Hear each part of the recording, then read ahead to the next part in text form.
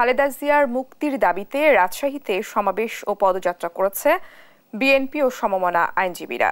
সমাবেশ থেকে আইনজীবীরা অভিযোগ করেন, সরকার ক্ষমতায় টিকে থাকতে সবকিছু দলীয়করণ করছে। প্রতিহিংসার কারণে বিএনপি চেয়ারপারসনকে বিদেশে চিকিৎসার সুযোগ দেওয়া হচ্ছে না।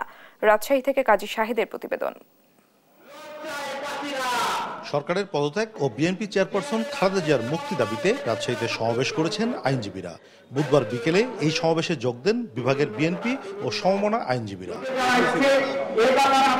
সমাবেশে যোগ দিয়ে আইনজীবীরা অভিযোগ করেন, সরকার আদালতকে দলীয়করণ করে ক্ষমতায় টিকে আছে।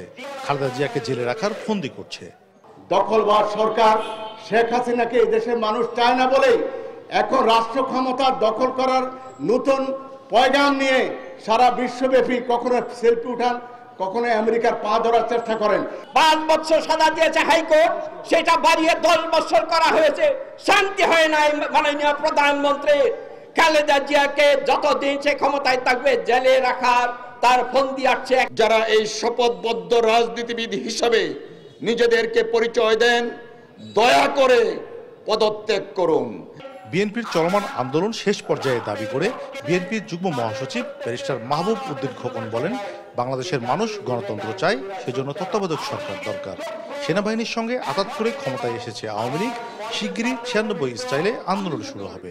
আওয়ামী লীগের ট্র্যাক রেকর্ড খারাপ আট সালে সেনাবাহিনীর সঙ্গে আঘাত করে ক্ষমতা আসছেন পৌরসভা বলেন সিটি কর্পোরেশন বলেন, কোন কোথাও ভোট নেই ইউনিয়ন কাউন্সিলে বলেন, সেখানে ভোট নেই। কেন নেই জানেন? গত পনেরো বছর আওয়ামী লীগ জনসমর্থনের দেয়ালীয় হয়ে গেছে। বিএনপির ভাইস চেয়ারম্যান ও ইউনাইটেড লয়ার্স ফোরামের আহ্বায়ক সিনিয়র আইনজীবী জয়নুল আবেদিন বলেন খালেদা জিয়ার শারীরিক অবস্থা খারাপ হলেও প্রতিহিংসার কারণে বিদেশে চিকিৎসা নিতে দেয়া হচ্ছে না।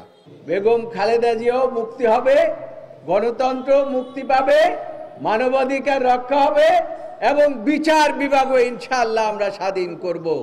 রাজশাহীর ভুবন মোহন পার্কের সমাবেশ শেষে নগরীতে পদযাত্রা করেন আইনজীবীরা। কাজী শাহেদ দেশ টিভি রাজশাহী।